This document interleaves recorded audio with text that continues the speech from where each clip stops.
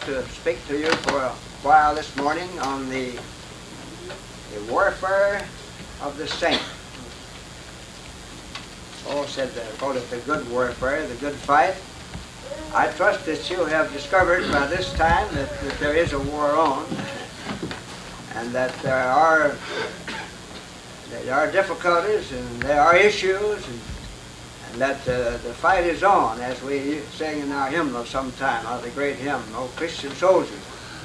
I think perhaps one of the uh, great difficulties of uh, of modern religion, and we're all none of us are immune to, to seduction at this point, is to be, that of becoming unaware of the conflict and just making peace with the world, the flesh, and the devil, and and settling down to, to peaceful coexistence.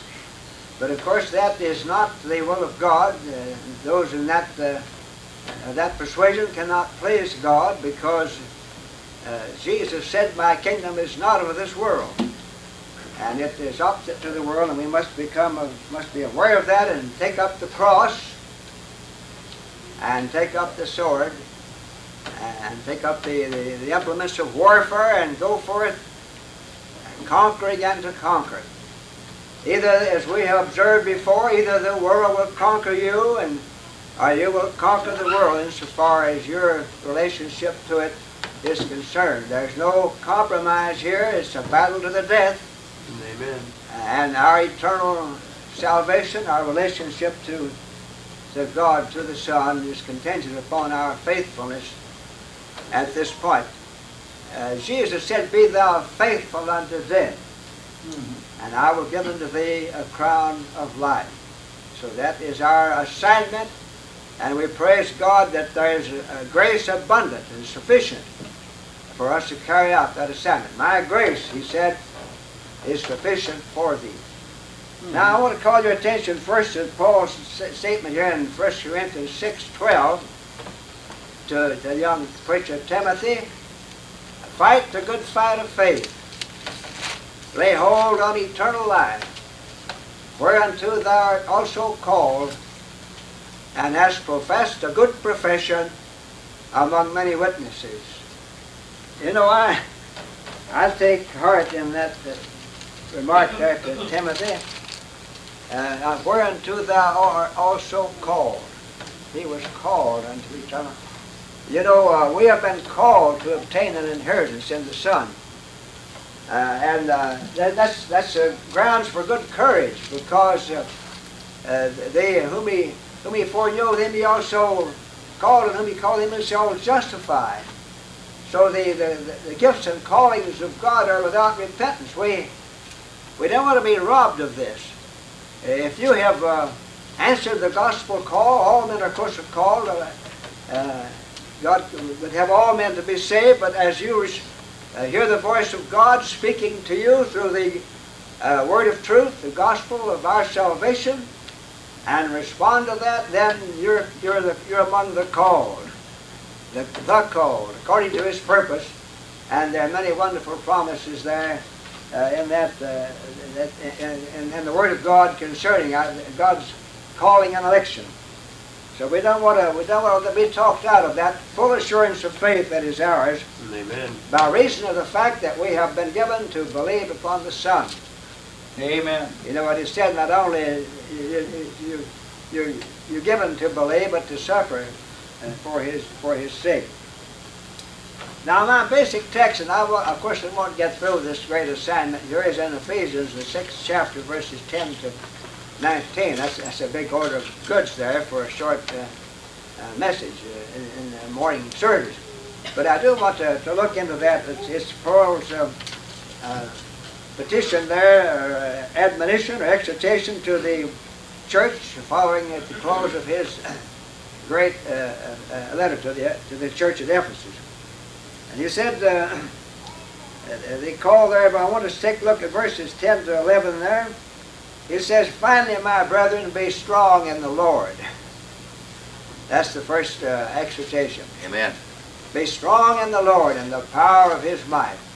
You know, we, it doesn't say be strong in your creed or be strong in this or that, but uh, our, our relationship is to, to God. We, uh, we're we're persuaded, uh, if you know God, see, I think it all comes out of this heading, uh, to, to know Him, whom to know His life, and to know the Lord Jesus Christ. But uh, we're persuaded with Paul uh, that God, uh, through the Lord Jesus Christ, is able to keep that which we've committed to Him against that day. Amen. Where, where, be, be, and uh, Abraham was strong in faith, giving glory to God. So uh, we want to, uh, it's said that uh, there on one occasion that Jonathan uh, strengthened David's hand in the Lord. So it's, uh, that, that's our job in, in, the, in the assembly is to strengthen one another's hand and faith in God and faith in the Lord Amen. Jesus Christ and uh, cement our relationship to the Lord because we're to be strong in the Lord, not in the flesh, not in ourselves, but strong in the Lord and the power of His might. You know, all things are possible with God. Nothing is too hard for the Lord. We, we need to, to rely upon that. We've got, it- it's a great uh, assignment to take uh, an unregenerated man or woman, boy or girl, and bring them from, from, uh, the, from nature to glory by way of grace. Well, God can do that. We, we have confidence in, in, in the Lord touching the brethren in this respect. So we are to be strong in the Lord uh, and, and the power of his might there in that, um, that 10th verse. Uh, it said, uh, put on the whole armor of God. put on the whole armor of God there. Uh, because uh, now he, he goes ahead following there in the verses to outline some of that armor, but this is sort of the preamble, I guess you'd say, to the uh, to the representation he makes there. Put on the put on the whole armor of God. I, I think we we we fall short there sometimes. People uh, are willing to, to, to go part of the way with the Lord, but uh, uh, taking unto themselves the, the, the entire provisions that God has made for our keeping, our salvation, and our keeping from the evil one. That's another thing. But uh, short of that, we do not have the assurances uh, that we're going to be kept un, unto the day of salvation. Amen.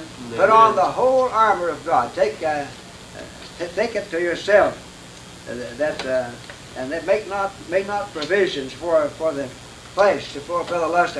He tells you why. Uh, the next verse, therefore we wrestle not against flesh and blood,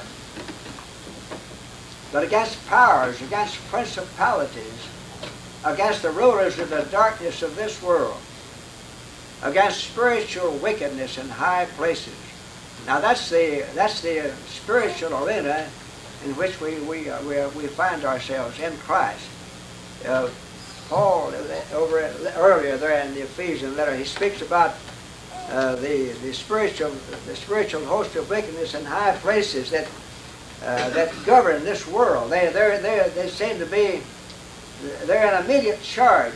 Uh, the although the devil has been spoiled, yet uh, we, we wrestle not against flesh and blood, but we wrestle against this hierarchy of, of demoniacal spirits that that are contending uh, in the arena of, of, of the world, and they have a they, they well, in fact the the devil is called the god of this world, and he is in immediate charge down here.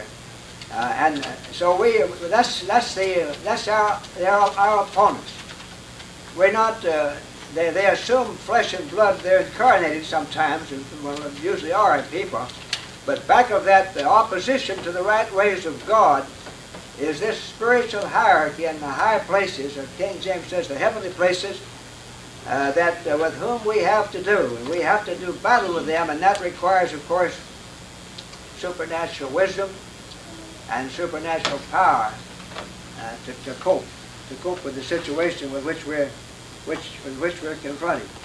Therefore, he said, "Take unto you the whole armor of God." He repeats that, that other preceding verse, that you may be able to stand in the evil day, and that's now. May be able to stand against the wiles of the devil, that is, in the evil day, and having done all, to stand. Amen. That's quite a strict statement there. I want to I like to just uh, take these words, these, these phrases of, of inspiration. They were, they were given for inspiration of God. Uh, and, and just sort of enjoy them, sort of taste them and retaste them in my spiritual palate, so to speak. So we're, we're, we're to put on the whole armor of God and make not provisions for, for, the, for, the, for the flesh to fulfill the lust, to fulfill the lust thereof. Then take unto you the whole armor, uh, be panoplied with uh, all of the provisions that God has provided for us uh, in this uh, good warfare of faith. Now, and by doing that, we can we can be more than conquerors. We can be more than conquerors through Him, through Him that loved us. Now, I want us to notice here another section of this um, this great sixth chapter of Ephesians, uh, verses 14 to 15. We've got here the we've got here the girdle and the breastplate and the shoes. He says, having your loins girt about with truth. Now, that uh, that goes back, of course, to the to the armor back in the days of Old Testament warfare, in which they they uh, had their their armor on, and they, they they had a girdle around about their that girded it on. And he makes a transition, makes a spiritual application here.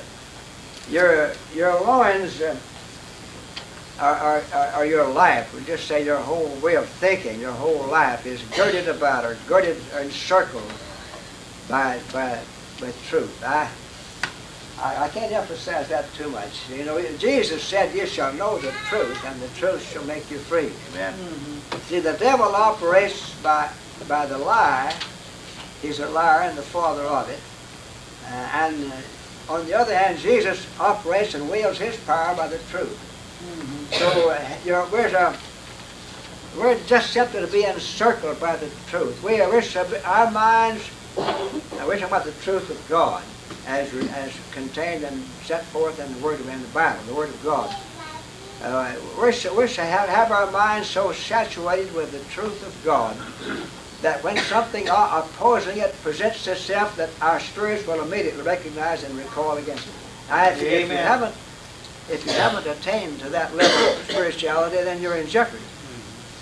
Because uh, I say we're living in the in, in, the domain of the big lie, and I I would you could get carried away here with a dissertation about the immorality of the time, but uh, just a passing reference here that uh, seems like not since uh, the days of the wicked Roman Empire, the days of Sodom and Gomorrah have we had a civilization that's, that's increasingly so permeated with corruption and decay and immorality as our day is. And is becoming respectabilized. So you have to be insulated against that. You have to have your Amen.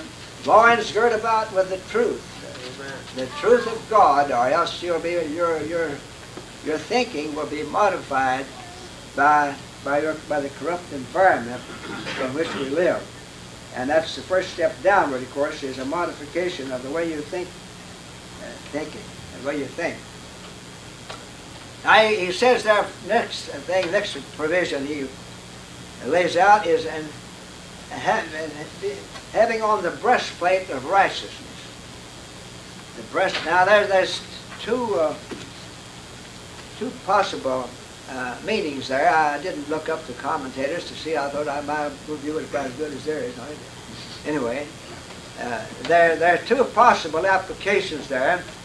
Uh, the first one, I take it, uh, the breastplate of righteousness. That, it goes back, of course, to the high priest's breastplate back there, you know, in the, in the temple. But I, I, take that to be the imputed righteousness. I, it, it, also has another. I think it, it's, it's susceptible to another meaning too. But I want us to notice here first the we are made the righteousness of God in Christ. Amen. Uh, this, this, this has to do with justification. We're justified in Jesus Christ. Uh, we're justified from all things from which we could not be justified by the law of Moses. Amen. Uh, we're, we're, we're, de we're declared to be the righteousness of God in the Son. So this, uh, a, a lively sense of your acceptance in the beloved. See, Christ did all the meritorious work. Christ kept the law. It's not by works of righteousness which we have done, but according to his mercy hath he saved us by the washing of regeneration and renewing of the Holy Spirit. Uh, the, the, uh, the, the law has been nailed to the, the law as a means of acceptance with God. The law, the obedience to which was a means of acceptance with God, has been done away. That's passe. That is no longer operative. We do not keep the law to be accepted with God. Then if we did, of course, we would merit our salvation and Christ would have died in vain. But we're justified freely by His grace, by God's grace, through the redemption that is in Christ Jesus.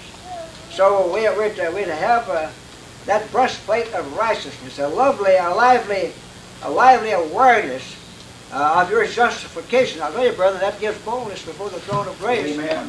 If you don't have that, the devil will drive you away because, uh, well, uh, Paul, you know, Paul had, Paul had the right view of it. He said that I know that within me, that is within my flesh, dwelleth no good thing. Amen. Amen. For to will is present with me, but how to perform that which I will I find not. But then he, he went ahead and said, And I thank God through Jesus Christ my Lord, that with my mind, that with my flesh I live to serve the law of sin, but with my mind I serve the Lord Christ. And he's accepted. There is therefore now no condemnation to them that are in Christ Jesus, who hmm. walk not after the flesh, but after the Spirit. For the law of the Spirit of life in Christ Jesus has made me free from the law of sin and death. Now, unless you get hold of that, now we're not we're not giving you a green light as we've said before for sin. You, you don't, Amen. God forbid is the answer to that. We're just being realistic, but that's how it is in Christ. That uh, the, the, having on the breastplate of righteousness, that of the imputed righteousness, then also, of course, there is involved that matter of personal righteousness, which we do to, to measure at least by the indwelling of the Holy Spirit, we do acquire. If we live after the flesh, uh, consistently, of course, and persistently, we shall die. But if ye through the Spirit do mortify or put to death the deeds of the body, you shall live. So we were not dispraising the, the obligation, or not uh, neglecting the obligation here to, to put on the Lord Jesus Christ and put on righteousness. But uh, all the while, we're, we're fully and freely accepted by our uh, vicarious justification. Amen. Otherwise, otherwise there wouldn't- be a chance, as we've said before. There wouldn't be a chance for any of us because that, that's how it, that works in, in the kingdom of God. And he said there in verse 15, your, your feet shod with the preparation of the gospel of peace. I thought to be said about that. The, the, you know, the, Paul said there that the, in, at the, the household of Cornelius that uh, God uh, was sent, came preaching, preaching peace by Jesus Christ. That was the message he started out with there in, at Cornelius' household. That uh, Jesus Christ, God came preaching peace by Jesus Christ because he, He's the one that made peace by the blood of His cross. Mhm. So the, we have the, this, the, you know, we're to be, your, your feet shod with the preparation of, maybe I think perhaps uh, your feet shod with the preparation, that, uh, that en- envisions your going and, and, and proclaiming the message. So we, as you go everywhere preaching the word, uh, you, you, you, you- you've got, uh, your feet are shod with the preparation of the gospel of peace. You've got, you've got good news. You, Amen. you haven't got a Sinaitic law to proclaim, but you've got a gospel of salvation that God was in Christ, reconciling the world unto himself, not imputing their trespasses unto him, unto them, and he hath committed to us the ministry of reconciliation. So that's uh, having your feet shod with that. Be sure you know the gospel. Don't go out preaching the law. Go out preaching the gospel. Your, your feet shod with the preparation of the gos- gospel of peace. That's a blessed, a blessed preparation there. Uh, now that, that, uh, he goes ahead to enumerate here then in verse 16, and this certainly is fundamental. Above all, above all, taking the shield of faith, wherewith you shall be able to quench all the fiery darts of the evil one. The shield of faith. You know, the, uh, Paul en- envisions the, the, the, temptations and the accusations of the, of the evil one, the devil against the, God's people. as a fiery dart comes sailing through the air aimed at your vitals, and you've got this shield of faith up, and, and that just gets that acquainted. He's usually here and uh, putting it out, it stops. It deflects or stops that fiery dart because, as I say, we're justified. Who shall lay anything to the charge of God's elect? Praise Amen. God, it is Amen. God that justifies. Throw that at the devil the next time he brings up some of your delinquencies. If you, certainly if you've repented of them and turned from them. Uh, but uh, the, the shield of faith will quench all the fiery darts. It will deflect them or stop them. Uh, that the devil will hurl at you. And don't think he will not he will not accost you because he is the accuser of the brethren. And there's nothing that more in which he delights than to point out some of your uh, deficiencies, uh, spiritual deficiencies, trying to drive you from the throne of God and the throne of grace. But you just throw up the shield of faith and, and say that uh, Christ bore that sin for me, that my who his own, who his own self bare our sins in his own body on the tree. Uh, and we, we must learn to do that if Amen. we're going to walk with God. Now that's just that simple. You've got to be able to use that shield of faith, or else he'll drive you out from the presence.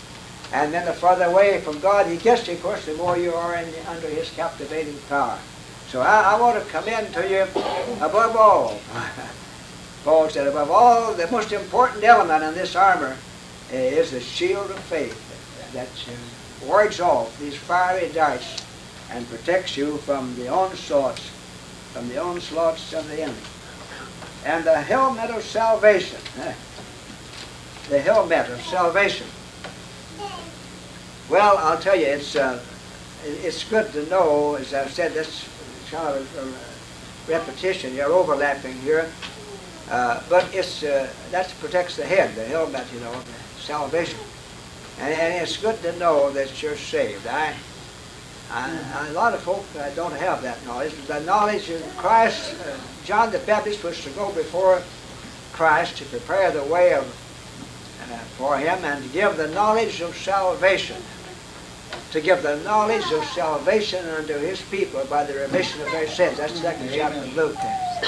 So you, you, you, you, you, you must have, if you're going to be confident, if you're going to have power with God, you've got to, to know that you are accepted. You Amen. can't operate on a hope so or on trying so basis. We're accepted, brethren, vicariously. As I've said, uh, as Paul said, it's not by works, it's not by merit, not by works of righteousness. We're, we're vicariously accepted in Jesus Christ. And so you, you take that helmet of salvation, knowing that, that you are saved. Uh, and then, then in that you have confidence. You know that all the promises in him are yea and amen to the glory of God. Uh, and in that knowledge you can uh, go forth valiantly to do battle for the King of Kings, the King of Kings and the Lord, the Lord of Lords. So then he said, uh, and take the sword of the Spirit. uh, the sword of the Spirit, which is the Word of God. Well, uh, that's what Jesus used, you recall, in, in the wilderness temptation. Every assault that the devil made upon him, he came back, back out of the Deuteronomy there, the 18th chapter. And he, he used the, the, the word. That's kind of hard on the people who write off the Old Testament. Uh, Jesus used it altogether in his conflict with the, with the, with the devil. Uh, so the, the, it's, it's living or quick, the King James says quick or li- living and powerful and sharp with any two-edged sword. And piercing even dividing asunder of soul and spirit, joint and marrow, and is a discerner of thoughts and intents of the heart. The, it's remarkable what, what the sword of the Spirit will do Amen. in your own conflict with the devil. Amen. And when, when you're wrestling with, with temptation and seduction, you're just, uh, if you, of course, you've got to know the Word of God. You, a lot of times you won't have time to run and get the concordance out to look up the passage. and what have you. But if thy word have I hid in my heart, David said that I might not sin against thee. Amen. So if you, you if you you've got to possess the sword, in other words, before you can use it. But take the sword of the Spirit, uh, and uh, that uh, you know the, Peter says you resist the devil and he'll flee from you. Mhm. Amen. And there's no implement for resistance more effective than that of the sword of the Spirit. You See that uh, it seems from what we know of him, the devil, that he has a pretty fair working knowledge of Scripture himself. You know, he cited some diseases there in the in the wilderness temptation, and he has a pretty good grasp of Scripture. So all you, uh, as far as we know at least, he does. Seems to indicate he does. So you just hold it over his head. He probably knows more Scripture than a lot of church people do. But you, you, just, you just cite, "Thus saith the Lord." Thus saith the Lord. And, uh, for example, now, I, I know there are people that have been uh, caught in this snare of the devil. They started out with the Lord and they meant well, and, and the Lord accepted that good intention and pure heart, but they were overcome by some fault or some sin, uh, and they didn't know the truth. You know, you should know the truth, and the truth should make you free. So they they just departed from the Lord, uh, and, and, of course that delighted the devil. They did they didn't. Uh, they didn't know that uh, if we sin, we have an advocate with the Father. Praise Amen. God. Jesus Christ, the righteous. And He's a propitiation for our sins, and not only for our, not for our sins only, but for the sins of the whole world. So unless you know that, you see, uh, the devil can, can drive you away uh, and, and, keep you away from, uh, from, the presence of God. So you've got to be able to to know what, what the Word of God says uh, and be able to use the sword. Uh, just Jesus, he said, if we confess our sins, He's faithful and just to forgive us our sins Amen. and to cleanse us from all unright. You know, Jesus gave a, uh, we wouldn't call it a parable, but he he said there that the, that the disciples asked him, "How often shall my brother forgive me?" And, and so he said, so Peter said, "So seven times seven." He said, Verily I say, not seven times, but seventy times seven. And he said that uh, if, if uh, seven times in a day you, you, your brother trespasses against you and turn again and, and say, I repent, forgive him. Well, that's a picture of, he was teaching that's how God is. Hmm. That uh, sin, Now that is, that's, not a, that's not a green a license for sin. We say, God forbid. Amen. Say, but it is a, an amnesty provision there. We do Amen. sin. We do fall short. But we want to be able to come back to God. Bless God for that. It's the grace of God. And that's why Jesus Christ shed his blood. Uh, he, uh, he's ministering his, uh, his blood. Uh, uh, he's a minister of the true tabernacle, which God pitched and not man. Uh, and that, that, that blood there is being ministered now uh, for the forgiveness of sin. That's why, uh, that's, the, that's what necessitates the present mediation of Jesus at the right hand of God for the church. It's because it, it hasn't yet attained it. it. It still has sin. And he administers his blood, the efficacy of his blood there before the throne. Uh, and I praise God for that because it, that leaves us without excuse for alienation from God, you see. Uh, that is repentance granted. If, if, there's not repentance, of course, then you have no part and lot in this. Uh, there has to be that sorrow for sin uh, with a determination to turn from it. That's what's involved in repentance. If that granted, that, that present, then we have an advocate with, with the Father, uh, and we, we glory and praise His name for it.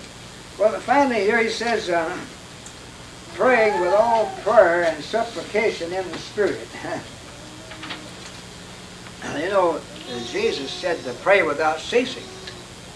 Uh, some folks say, well, you can't do that. Well, that's what he said anyway. you take that up with him. And he said, pray without ceasing.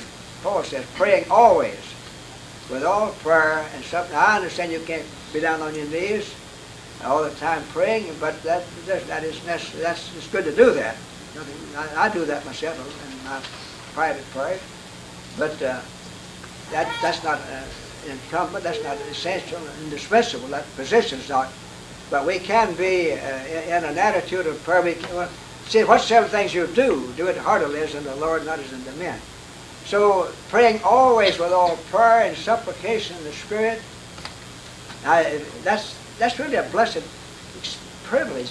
See, that, uh, that uh, helps to maintain your, your God consciousness. That, that helps to maintain your, your, your sense of relationship, to living relationship to God. We, we do the communion of the Holy Spirit. And uh, so we, are to pray always with all prayer, supplication the Spirit, and, and watching, I like that, watching thereunto with all perseverance for all saints. That is, watching for the for the answer. That's what I that's what I take that means. Amen. Yeah, that, that you we, we, when I when I ask God for something, I, I expect an answer uh, if it's in accord with His will. Now we have to we have to make that provision there. Uh, Jesus did, nevertheless, not my will, but thine be done. But uh, as we pray in the will of God, uh, we know that whatsoever things we ask, we receive of Him, because we ought- ought to do always those things that are well pleased. Jesus said that. Whatsoever things I ask, I receive, because I do always those things that are well pleasing in His sight. And then watching thereunto, be, be expectant. Be expectant in your prayer life. Uh, I say subject to God's will, and be willing to submit that. If some, the answer is no. Sometimes it was with Jesus. The answer to Jesus' three prayers in the Garden of Gethsemane was no. Amen. He besought him three times to let this cup pass, but the answer was no. He couldn't do that. And Jesus submitted to that. But uh, the, answer is always no. If we ask in accordance with His will, then we know that He heareth us. And we know that if He heareth us whatsoever we ask, bless God, we know that we have the petitions that we ask of Him. Then Paul goes ahead there in that concluding section there, praying always with all prayer and supplication in the Spirit, watching thereunto with all perseverance for all saints, and for me, he said, for me, that he might carry on his minister, ministry, and the charge which he had received uh, of the Lord, uh, to testify of the, of the grace of God. So uh, that, that's uh, a great uh, bit of instruction there the apostle has for the church. Uh, that uh, put on the whole armor of God and taking the prayer and the word of God and, and carrying out our devotion to the Lord. And as we do that, we have the assurance of God that we shall we shall overcome to the praise of His glory. Amen. Amen.